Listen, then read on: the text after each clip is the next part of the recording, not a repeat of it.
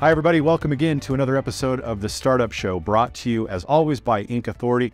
My name is Trevor Rowley. I'm your host.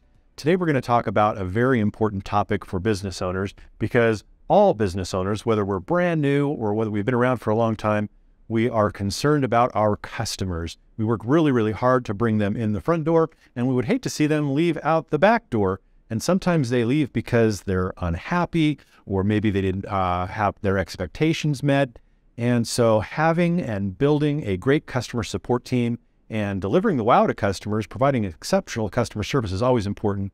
We've brought an expert to tell us about customer service today. Teo Purcell, welcome to the program today. Happy to have you. Thank you, Trevor. So, Teo, you're a member of our customer support team at Inc. Authority. And by the way, we have a fantastic support team here. Um, I think volumes is spoken about our customer support team and our team in general by the 18,000 plus reviews that are found on Trustpilot that sing the praises of the organization. But, uh, you know, we talk to new startup owners uh, of businesses around the country every day, and uh, all of them are concerned about customer service. And they say something like, hey, uh, you guys seem to provide outstanding customer service. What's the secret? And so uh, maybe we'll start out just by asking Teo, what are some of the best practices for providing customer service to customers, regardless of the type of industry? Well, a few basics are going to be like being courteous and professional, of course.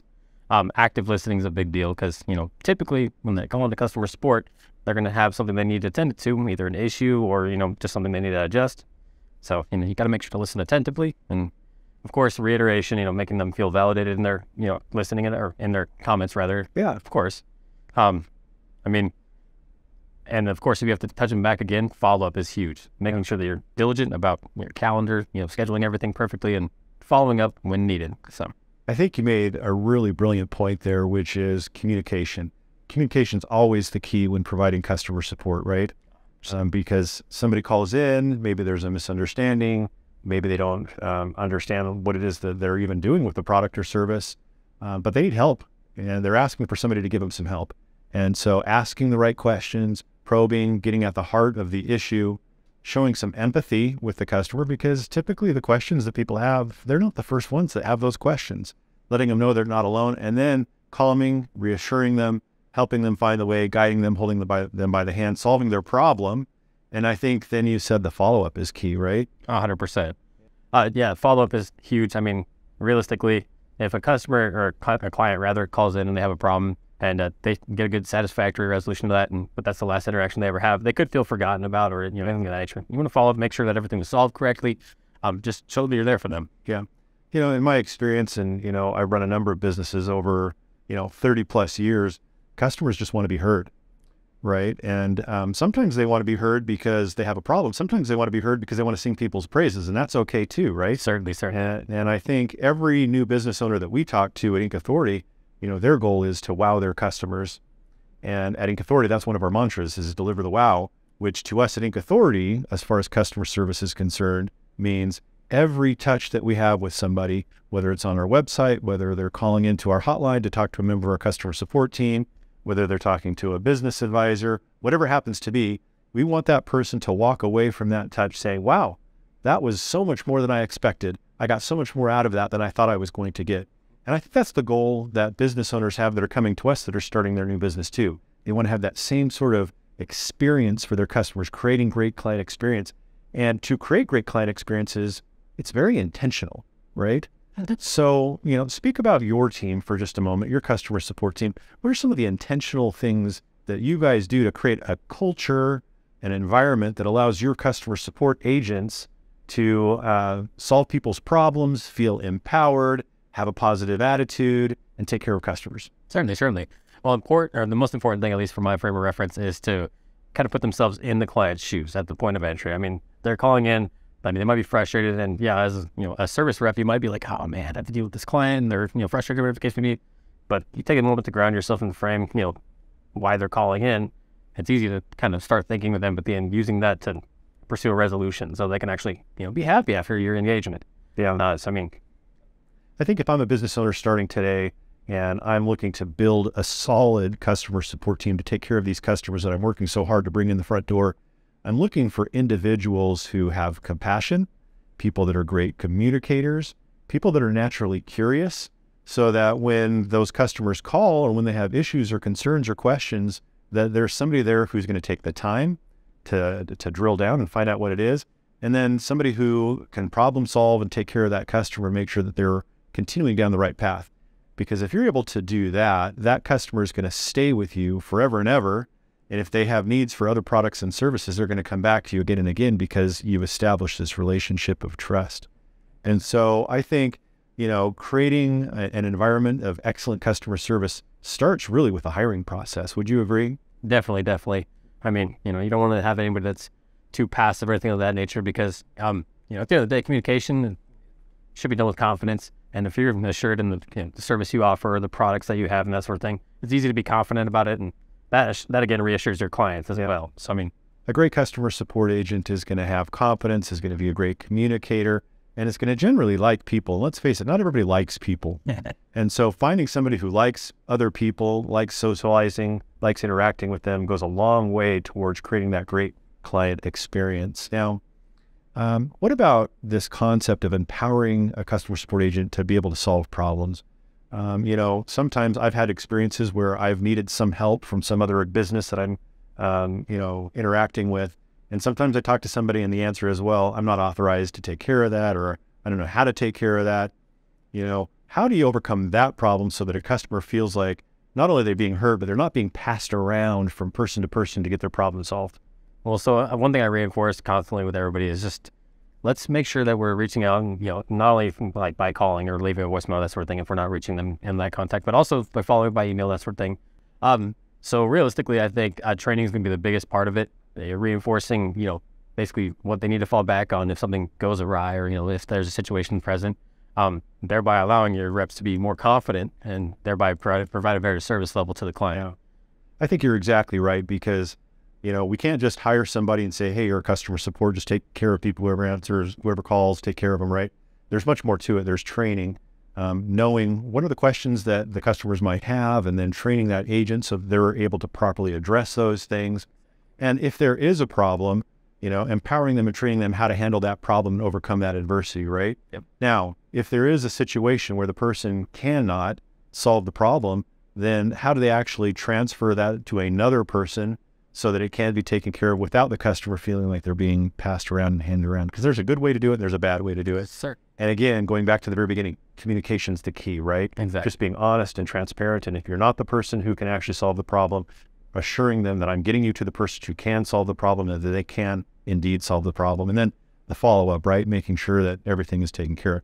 If I'm a, a customer support agent, I'm going to do everything in my power to take care of the customer's problem. If I can't, and I send it to somebody else who can, what I still can do is follow up with that individual later on. And I, maybe it's an email, maybe it's another phone call, just saying, hey, just circling back around. I know that I transferred you to Teo, for example. Just want to make sure everything was taken care of. Yep. And it's a nice way to kind of tie everything up in a bow.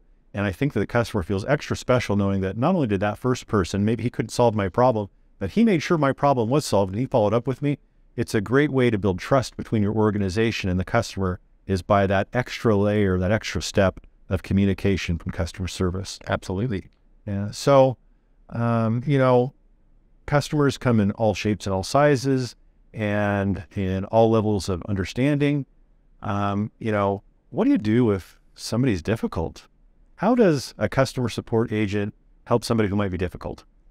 Well, so, I mean, being patient, and like I said, active listening and reassurance are going to be the biggest, um, you know, tools in your belt for a difficult customer. Uh, because first off, they're going to want to tell you two or three times what their crop is, you know, or their, you know, what what they want to adjust and that sort of thing. Um, and they're not going to listen always first time to what you tell them in response. So to be patient, listen actively, and find the best way to answer their questions with sympathy, with empathy, not with sympathy rather, but with empathy. Yeah. Um, and assure them that you know we're going to find a solution to this. Yeah. You know, one way or the other. And just walking them through that process, right? Because I think so often I've felt this way when I've had a problem and I've called a business. I've always felt like, man, it feels like I'm getting ready for a fight, right? Right. And I'm going to call in and I kind of feel like that the business is going to respond saying, no, you're not right or something like that. And so I'm kind of prepared to build that wall. And so great customer support, I think, immediately disarms that person, right? Somebody calls in with a concern. And I think there's a real pattern to overcoming problems. One of those, uh, the first part of that pattern is you listen, as you said, right? And then I think repeating back to them the issue, um, that shows part of that active listening. You know, if you called me, for example, and you had a problem, I might say after you relayed your problem, I say, Teo, if I'm hearing you correctly, the problem that you're having is, and boom, boom, boom, boom, boom, right? Is that correct? So uh, that way they can say, yes, you're understanding me completely, or, or no, that's not quite it. You misunderstood a little piece, and then they can redirect. But we want to make sure we get at the heart of the matter.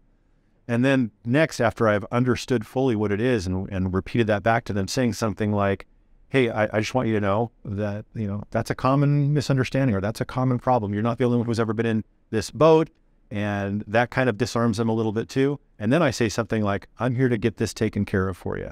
I'm going to solve your problem, right? Here's what we're going to do step one, step two, step three. And I take them right through it. And then at the end of it, I ask them, I say, Does that solve the problem for you? Have I helped you? Have I gotten you through that? And if it's a yes, it's great. Hey, thank you so much for calling in. Thank you for letting me take care of you. If it's not, then I find out what part am I missing? And I take the next step to handle them as well. And that creates great client experiences. And once you create great client experiences, you've created a client for life, right? So, Teo, uh, are there any stories, any customers you've interacted with that maybe you can share with us about how you helped a customer overcome a problem that can maybe be an example for our listeners today? Well, I mean, first thing comes to mind actually happened a little earlier today. Um, I was dealing with a, a, little more escalated client who uh, had some had some incorrect information that managed to get through on their filing, and they wanted to make sure that you know they were heard that it was you know an issue that needed to be resolved immediately. So, you know, through the process, you know, I'm happy to help you. Like, let me hear you from your own words what the problem is so that I can understand, we'll frame the reference and get this problem solved the best way for you. And then, you know, of course, you're going to hear everything that they have to say and yep. make, make sure that they've exhausted themselves first, of course, you know, before you jump into the solution. But I mean, um, basically what, you know, they, they just need to be heard. And then I assure them that it's a simple fix. Um, you know, I'm going to take care of this for you. And of course, I followed up with them right after the phone call just to make sure that they had received everything that I'd said and that everything was kosher from there. Yeah. So you followed that pattern, right? You, you listened to them, disarmed them a little bit, let them know everything was going to be okay. You were going to solve the problem. You solved the problem. And once they understood that, they recognized the problem was solved and you just went forward. So fantastic. Well, thank you for joining us today, Teo. Pleasure to have you on the program as always. You know, customer support and how to service customers, I think, is a critical piece of operating a successful business. And that's what the show is about on the Startup Show is helping business owners uh, have successful businesses. I want to thank you all for joining us again for this episode of the Startup Show brought to you by Inc. Authority. If you'd like to speak with Teo or a member of the customer support team, please reach out to us either online or by telephone.